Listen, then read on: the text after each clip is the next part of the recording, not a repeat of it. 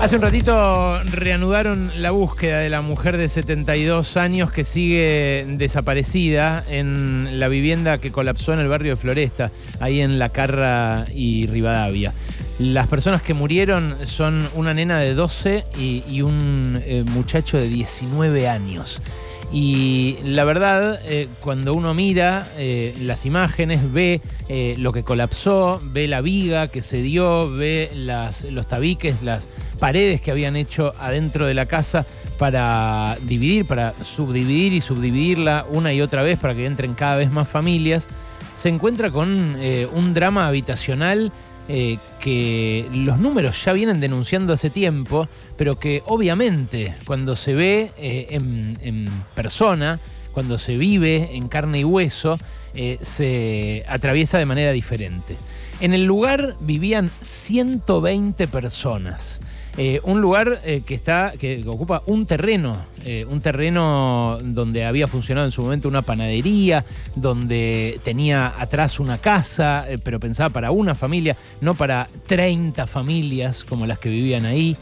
y claro, el hacinamiento hace que la construcción no sea la correcta, si bien mucha de la gente que vivía ahí trabaja en la construcción y sabe de construcciones, eh, del mismo modo que en las villas o en los barrios populares o en los asentamientos eh, se abigarran las viviendas y, suben, escalan hacia el cielo eh, de manera muy sólida, porque la gente que las hace sabe hacer casas, justamente, las hace para otros, las hace para ellos también, pero con peores materiales.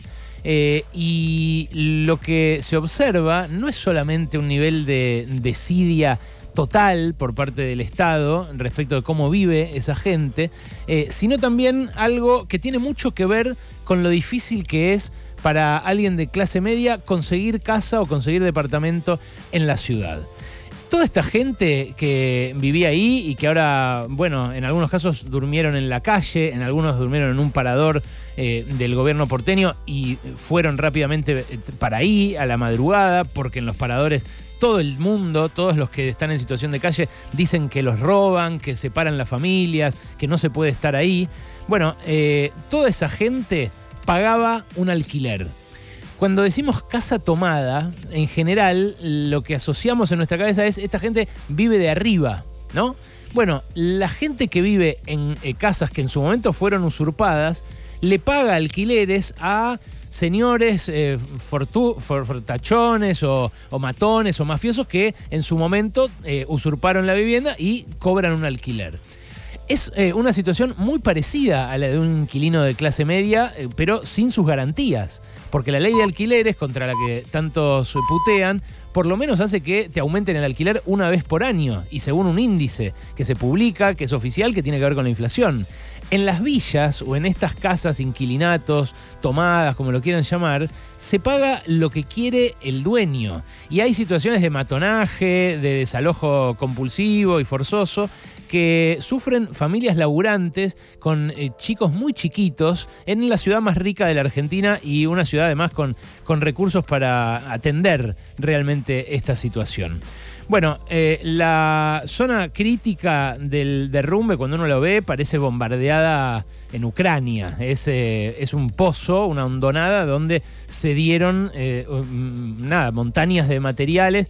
De hecho, para, para reanudar la búsqueda necesitaban, y por eso la estaban demorando, una grúa de 120 toneladas.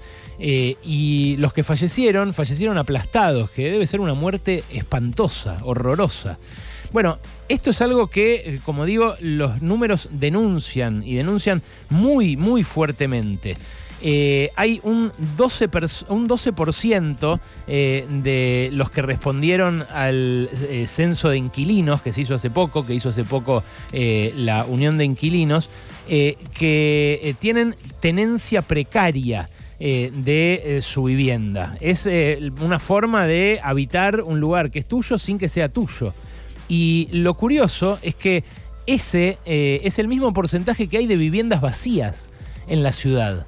Eh, hay un montón de viviendas vacías que alimentan la especulación, cuyos dueños se las compran porque valen en dólares y porque creen que van a valer más en dólares en algún momento y que ni siquiera se alquilan a cambio de una renta, solo se tienen como eh, un activo financiero, un activo que se va a valorizar.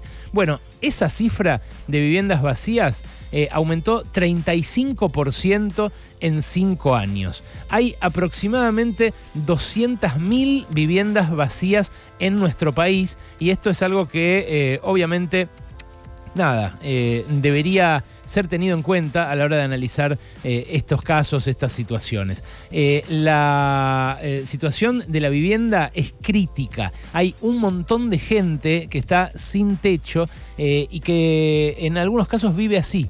Muy cerquita de la Carra y Rivadavia, ahí donde colapsó este inquilinato, vivió mi abuela, mi abuela Elena, cuando llegó a la ciudad de Buenos Aires. Ella venía de Polonia y muchos de los que venían de Europa eh, vivieron en esas condiciones precarias.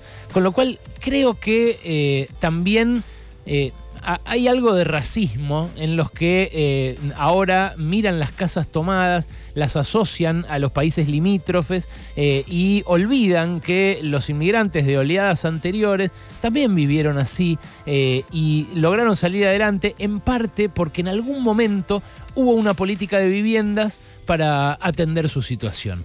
Esa política de viviendas hoy brilla por su ausencia. Este gobierno hizo eh, viviendas que no fueron suficientes, hizo más que el anterior, eso hay que destacarlo, pero no atiende la situación de los que alquilan, los y las que alquilan, que sobre todo eh, entre los jóvenes no hay otra eh, alternativa para emanciparse, para irse de la casa paterna, son los que hoy atraviesan la situación más vulnerable. Estén en un inquilinato en eh, La Carra y Rivadavia o estén alquilando en un edificio de clase media en Caballito.